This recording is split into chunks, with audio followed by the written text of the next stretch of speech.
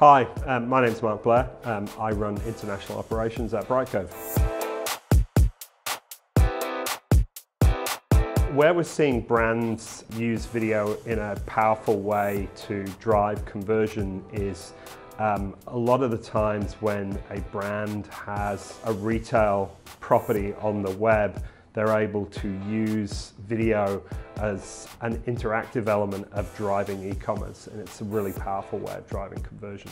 The main trend that we're seeing with uh, video through the customer journey is really about ensuring that you use video throughout that customer journey from the start of a customer relationship in terms of awareness, uh, then acquisition, conversion, right through to loyalty and advocacy.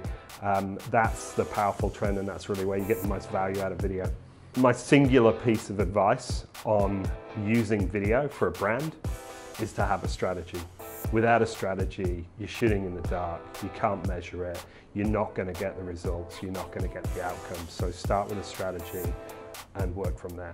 So it's really important as part of your video strategy that you ensure that your video is available and distributed with all um, channels and, and properties and destinations. So if you think of devices, it's making sure it works on mobile devices, on tablet devices, on desktop devices, on connected TVs and any emerging platforms that become available as a brand, you want to make sure your content can be consumed wherever someone's trying to consume it. Um, you don't want to restrict that. Um, outside of device types, you've also got to think of um, your own properties, but also off-site properties, whether it be social channels and the like. So it's important to make sure that you use a technology platform that allows you to distribute the content wherever your uh, viewers want to access it.